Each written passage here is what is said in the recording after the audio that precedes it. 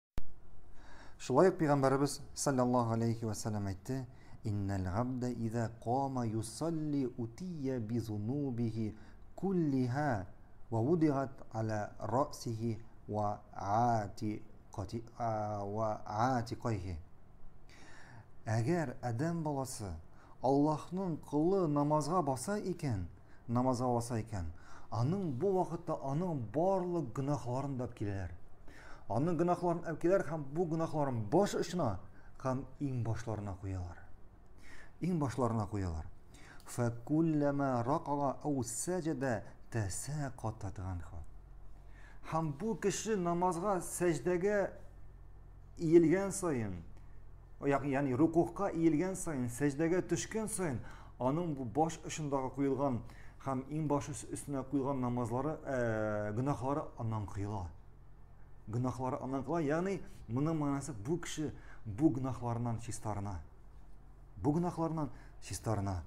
Һәм бу хадистә намазларның әһәмиятен күрәбез. Күпме күбрәк намаз укыган саен кешенең гөнаһлары иштара. Кешенең гөнаһлары иштара, ягъни кеше гөнаһларыннан арына.